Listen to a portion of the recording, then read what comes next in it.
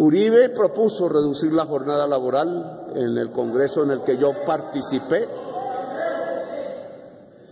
Yo, yo voté por esa ley, no se preocupe.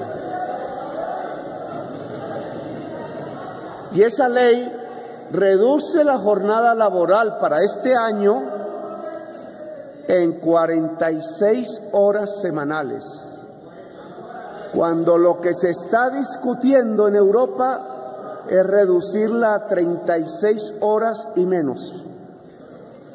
¿Y qué tal si damos un empujón? ¿Qué pasaría si diéramos un empujón a la ley de Uribe? Que tiene una gradualidad dos puntos cada año, creo.